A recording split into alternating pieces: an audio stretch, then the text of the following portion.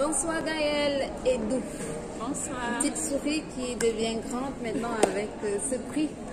Euh, jeune créateur de ce, cette onzième édition du Forum des métiers de la mode et du design. Tes impressions? Alors, euh, je suis partagée entre les impressions de surprise, extrême joie et, et, tout ce que ça comporte, mais je suis contente du parcours que j'ai eu en, si peu de temps parce que je dois rappeler que j'ai une carrière de contrôleur de gestion derrière moi avec cinq années d'expérience que j'ai laissé tomber pour mais j'étais à l'eau, comme, comme je l'ai expliqué tantôt. Donc, je suis extrêmement, extrêmement fière de moi et, et je suis ravie en ce jour de, de ce que j'ai accompli jusque-là.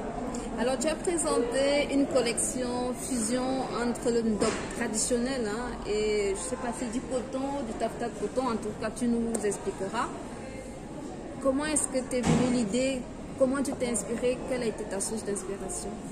Alors, euh, je suis partie du constat selon lequel euh, la population africaine en général et camerounaise en particulier sont extrêmement tournées vers, euh, disons, l'offre étrangère et, j'ai rencontré par hasard en faisant mes recherches un groupe de tisserands qui sont vraiment orientés sur l'art ancestral du tissage du coton à l'ancienne et je me suis posé la question de savoir comment mettre cet élément-là en valeur. Et de là est venue l'idée selon laquelle je devais mettre en valeur le travail des, des artisans en général camerounais, aussi bien sur la scène nationale qu'internationale. C'est de là que m'est venue l'idée. Alors, c'est ton premier défilé ce soir? Oui, c'est mon premier défilé, c'est ma première collection, c'est mon premier prix, c'est la totale. Coup d'essai, coup de maître, euh, il faut quand même rappeler que tu as aussi une ligne de vêtements que tu appelles Sartoria, si je ne m'abuse. Voilà, euh, il y a deux ans, un peu plus de deux ans et demi, j'ai créé ma marque Sartoria Gessi après avoir décidé de de plonger dans ce projet-là.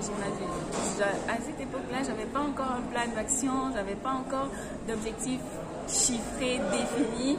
Mais avec le temps, je me suis approfondie dans cette passion-là et, et je suis fière de voir aujourd'hui que le fait de mettre les idées sur écrit consolide en fait les, les actes.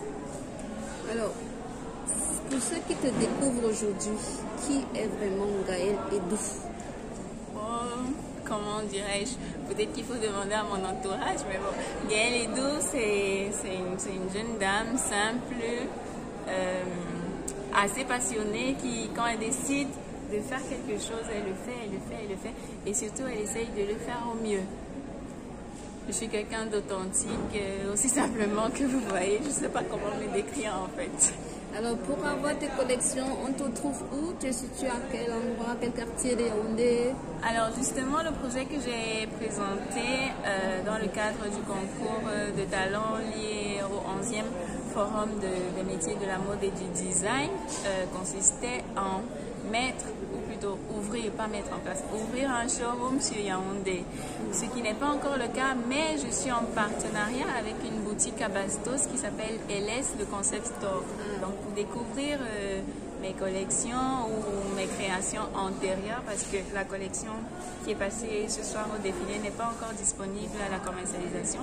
Pour découvrir euh, tout ce que j'ai fait avant et tout ce que j'ai fait récemment, il faudrait passer à la boutique LS Bastos, le Concept Store. Un numéro de téléphone? Alors, euh, sur mes pages, sur mes réseaux sociaux, il y a le numéro de téléphone et le WhatsApp. Là, comme ça, j'ai oublié tous les chiffres. L'émotion. En tout cas, félicitations encore, Gaëlle. On te souhaite euh, bien de meilleur. Merci beaucoup. Rejoignez-nous sur Facebook, Instagram, sur Sartoria Gessi simplement et vous serez à jour de tous les détails. Alors, vous dire merci au réseau des journalistes culturels du Cameroun. Merci au réseau des joyeuses couturières du Cameroun.